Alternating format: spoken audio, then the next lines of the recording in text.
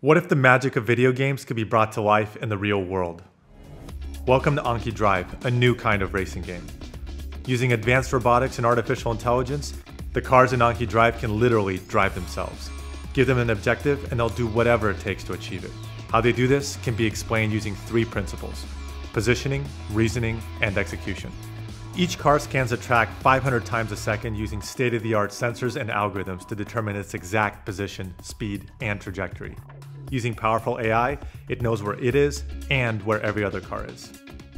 The AI then analyzes hundreds, sometimes thousands of possible actions across four dimensions. It looks into the future to determine the best course of action.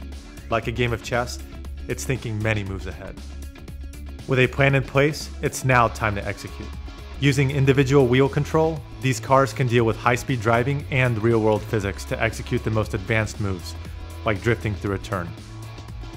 At real-world scale, they could drive 250 miles per hour, executing maneuvers within a tenth of an inch. These cars anticipate thousands of scenarios and execute one, to perfection, all in the blink of an eye, on the floor of your living room.